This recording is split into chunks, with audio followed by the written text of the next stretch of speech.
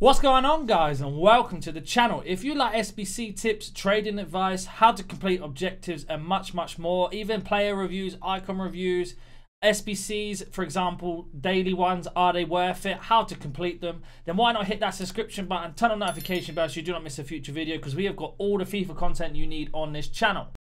So EA have released another daily SBCs. Adidas Copa is the uh, numbers up challenge. What you get is a small rare players pack untradable back. This is really easy. This one you need maximum two nations, minimum four leagues, nine rare, 65 team rating, 85 chem. So we just went for English rares. As soon as we got the nine rares, we just put in a goalkeeper. What you're going to need is at least one Prem, one League Two, one League One, and one Championship player to finish this off. So as you can see here, we have the Prem, the Championship up front, and then we have the League Three and League Four here and here.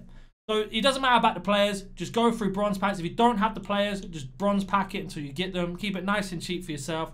Some of these rares are about to get silly expensive.